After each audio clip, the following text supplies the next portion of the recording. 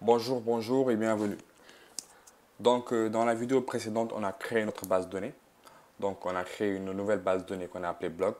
Et dans cette base de données bloc, on a créé une nouvelle collection qu'on a appelée article. Et dans article, on a inséré des documents. Voilà, on peut voir ça. db.article.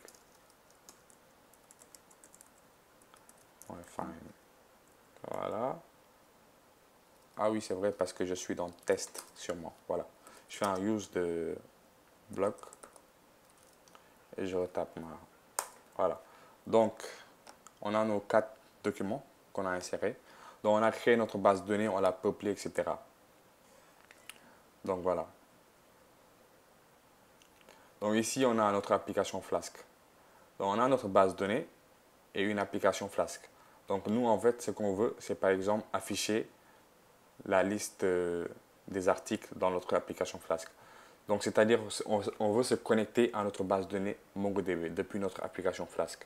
Se connecter à notre base de données MongoDB et récupérer des données là-bas ou ajouter de nouvelles, données. Voilà. Donc, pour ça, il faut qu'on ait, un intermédiaire qui va nous permettre de nous connecter à notre base de données depuis notre application Flask. Donc, c'est là qu'entre jeu PyMongo. Donc PyMongo, c'est en fait, c'est lui qui va jouer ce rôle d'intermédiaire là, entre guillemets. Donc en fait, c'est lui le pont entre Flask et MongoDB. Voilà, et donc il va nous permettre de, de nous connecter à notre base de données MongoDB et va nous permettre d'interagir avec cette base de données. Voilà. Donc on le dit ici, Flask, MongoDB, Bridge, etc. etc. Voilà. Donc c'est ça qu'on a besoin. Donc on va installer PyMongo.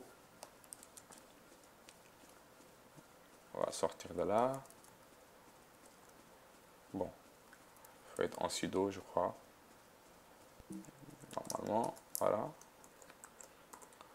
On installe PyMongo.